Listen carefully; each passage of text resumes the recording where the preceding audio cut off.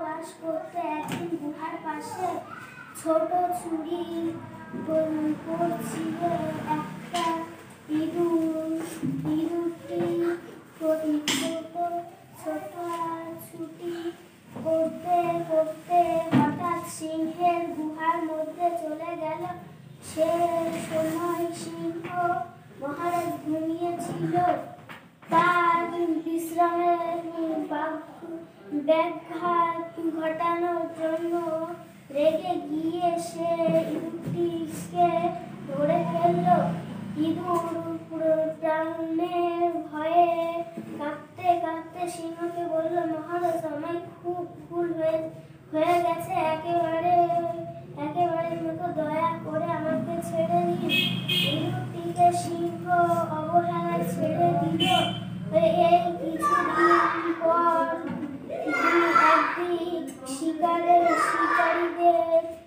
দল সিংহকে জালে আটকালো সিংহের প্রাণের ভয়ে ডাক ডাক করতে লাগল। তাতে শিকারীদের কোনো দয়া হলো না।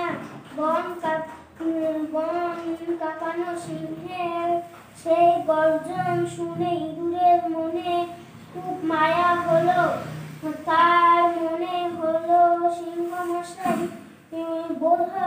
খুব বিপদে পড়েছেন। এই কথা মনে হতে ইঁদুরটি সিংহে একদিন মাংস খেতে গিয়ে বাঘের গলার মাংসের হাড় ফুটে গেল। অনেক কিছু করেও বাঘ গলা থেকে হাড় বের করতে পারল না। তাই বাঘ বনের পশুদের কাছে ছোটাছুটি করতে লাগল। বনের পশুদের বাঘ বলল যে আমার গলা থেকে হাড় বের করে দেবে তাকে আমি অনেক উপহার দেব। বাঘের ভয়ে কেউ হাড় বের করতে ভরসা পেল না। বাঘের উপহারের কথা শুনে একদিন বকের খুব লোভ হলো। তাই সে বাঘের গলা থেকে হাড় বার করতে রাজি হয়ে গেল। বক তখন অতি সাবধানে তার ঠোঁট দিয়ে বাঘের গলা থেকে হাড় বের করে দিল। বাঘ ভালো হয়ে গেল। এরপর বক বাঘের কাছে উপহার চাইল।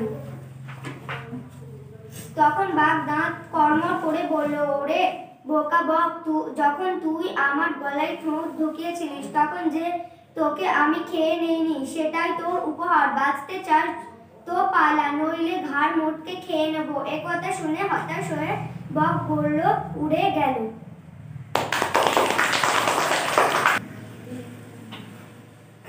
এক যে ছিল ভারী লোক, কুকুর একদিন সে মাংসের দোকান থেকে একটু পুরো মাংস চুরি করেছিল আর একটা কুকুর এসে তার এই মাংসের টুকরোতে ভাগ বসাবে। না তো, এই ভয়ে সে মাংসের টুকরোটা মুখে নিয়ে খুব জোরে দৌড়, দৌড়াতে লাগল। দৌড়াতে দৌড়াতে এক সময় সেই কুকুরটি একটা খে- খেলের ওপরে থাকা থাকা একটা সুর শুকুর ওপর দিয়ে যাওয়ার সময় খেলার জলে নিজের ছায়া নিজের ছায়া দেখতে পেল, ছায়া দেখে কুকুরটি মনে এলো, এই তো আর একটি কুকুর, এর মুখে একটু পুরো মাংস রয়েছে যে একদিন একটা কাক একদিন একটা কাক সাথে একটা কাকে খুব ভালো হলো। দুজনা এক কাছে ও